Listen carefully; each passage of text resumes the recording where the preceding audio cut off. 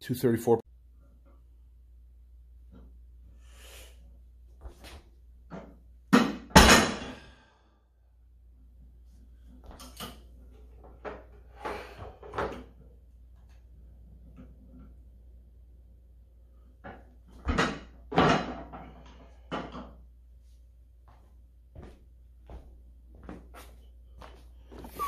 That's a maybe.